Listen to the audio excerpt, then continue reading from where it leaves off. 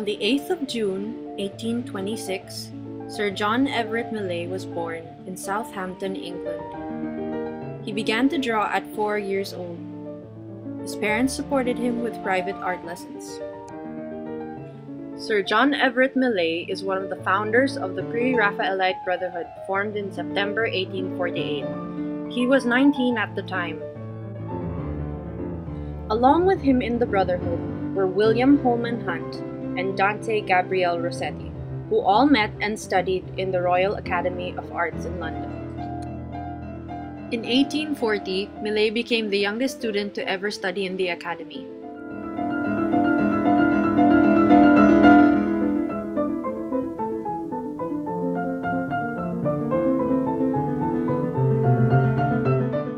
Inspired by John Keats' poetry and John Ruskin's modern painters, his style gave great attention to detail, often concentrating on beauty and complexity of the natural world.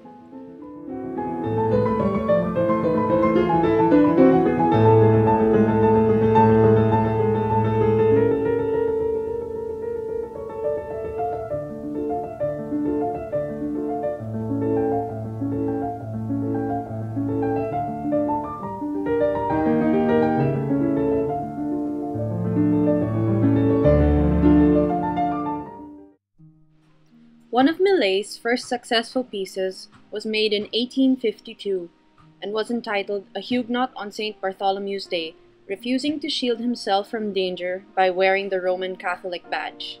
Because the title is so long, it is usually shortened to A Huguenot or A Huguenot on St. Bartholomew's Day. The painting's full title gives the full meaning of the painting itself. At first, Millais had planned to simply paint two lovers, but his mind changed when William Holman Hunt said it was overused. After Millais had seen the opera called Les Huguenots, he changed the painting to refer to the event, which was the St. Bartholomew's Day massacre in 1572.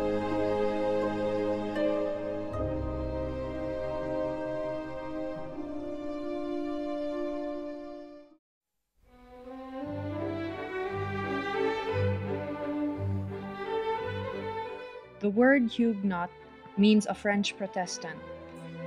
On the evening of the feast of Bartholomew the Apostle, which was on the 23rd of August 1572, the Huguenots were assassinated in Paris by Roman Catholics.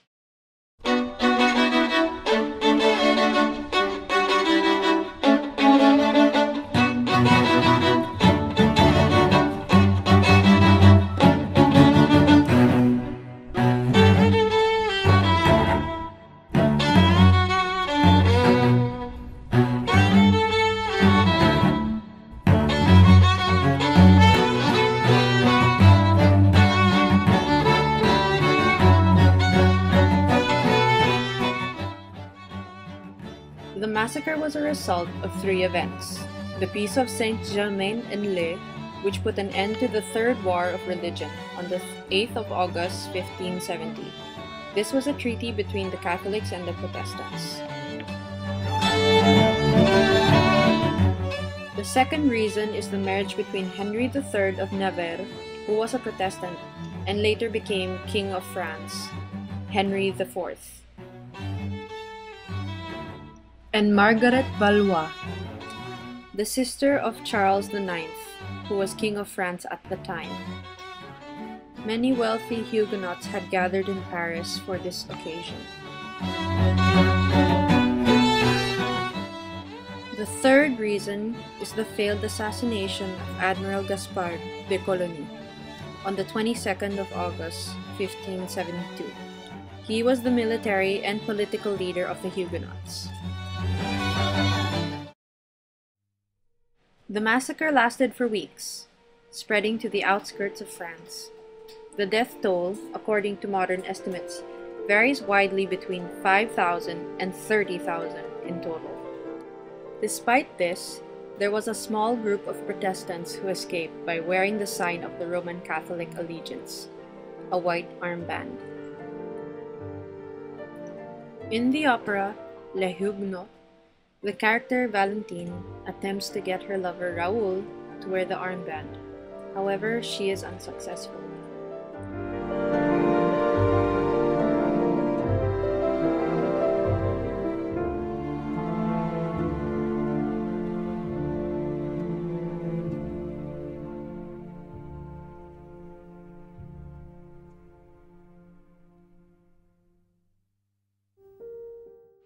The cloth and plants are incredibly detailed. The composition and tones in the painting make the setting seem calm, but the girl's face and the positioning of her arms say otherwise. Through this, Millais captures the intensity of the scene. The man's face, seemingly calm and happy, emphasizes his acceptance of death. He would rather die than deny his faith. According to the language of flowers, the ivy can stand for friendship in hard times.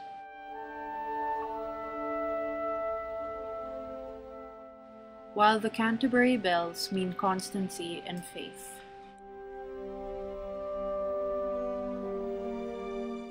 And the nasturtiums express patriotism, but in this case, it can mean loyalty to his faith.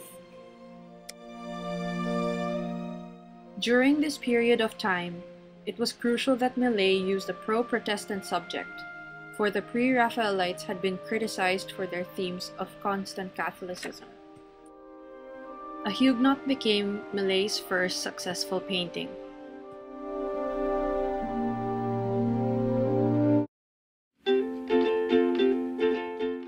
Okay, so firstly, you can tell that um, this painting was painted back at the olden days because you can see what they're wearing and the style of the painting and the artist is really into the details and stuff. And uh, most importantly you can see that there's a story behind the painting because of what's going on.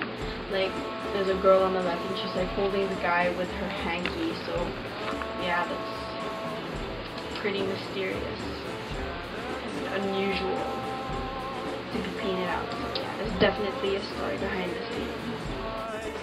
And it's obvious that um, the two are in love with each other with the way they like holding each other. Touching. So yeah.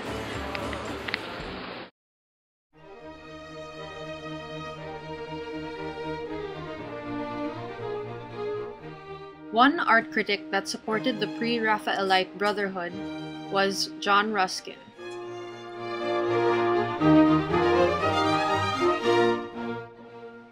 Ruskin and Millais became friends. Millais painted this portrait of Ruskin. Through their friendship, Millais met Ruskin's wife, Effie Gray.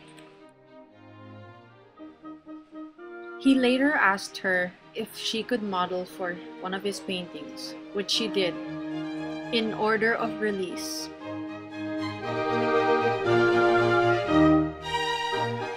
They later fell in love. Although Ruskin and Effie had been married for several years, Effie was still a virgin, therefore the marriage had not been consummated. This led Effie to file for an annulment. A year later, she married Millais. This brought on public scandal. Due to the annulment, Effie was not allowed in the presence of Queen Victoria, causing her to miss out on several social events. Before the annulment, Effie had been very active socially. This bothered Effie and Millais, although many didn't mind her situation and had her as a guest anyway. Millais painted this portrait of Effie.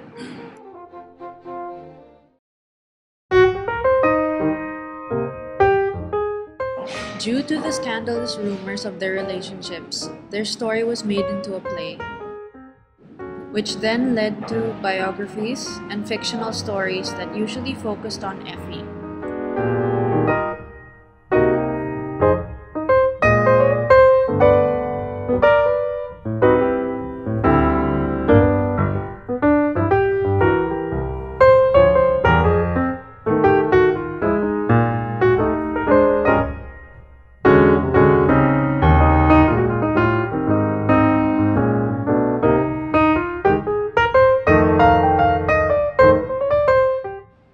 Stories are being made into a movie, with the screenplay written by Emma Thompson and Dakota Fanning acting as Effie.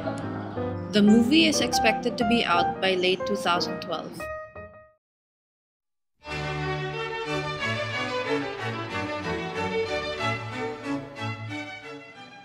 Later on, Effie and Millais had eight children together. This is a list of the Millais children, one of which became an artist later on, John Millais.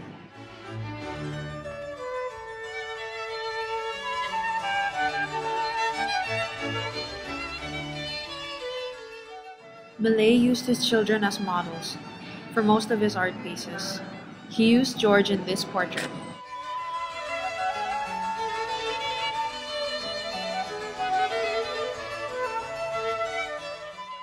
Millais used his daughter Sophie as a model for these two paintings.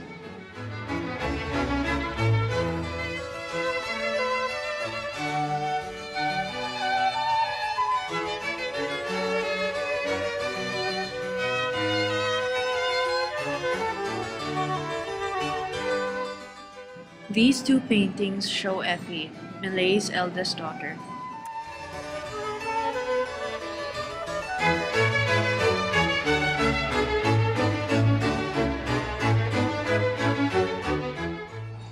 This is Millais's granddaughter.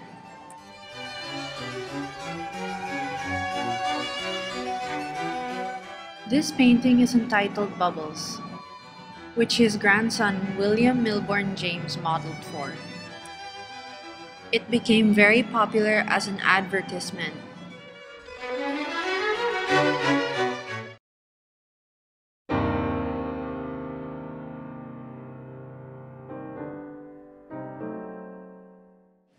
After he had married Effie, Millais's style changed from precise detail to more of an impressionistic feel.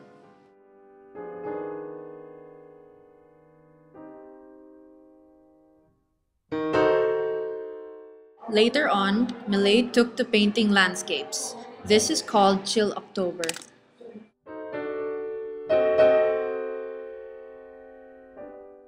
1853, Millais was elected as a member of the Royal Academy.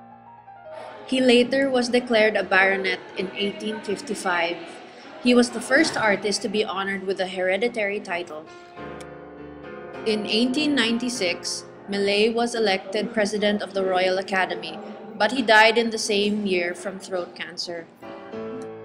When he died, the Prince of Wales commissioned a statue of the artist. It is now in front of the Tate Gallery. His era jump-started artists to continue or use elements of his style, evolving it into several other art movements later on. Even today, people are moved and inspired by John Millais's art. In this, his legacy lives on.